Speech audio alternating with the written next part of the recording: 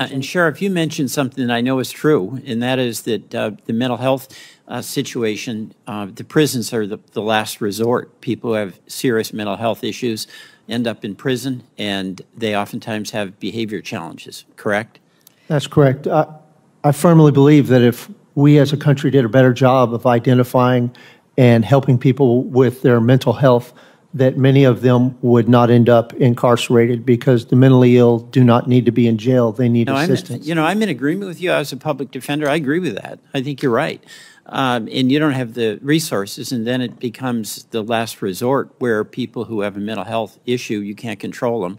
And uh, I don't know if it's out of frustration or safety, but they go in solitary confinement and it gets worse. I mean, the real question I have is whether there should be a ban in effect uh, with very, very severe limitations for the Durbin situation that we heard about on the use of, of solitary confinement.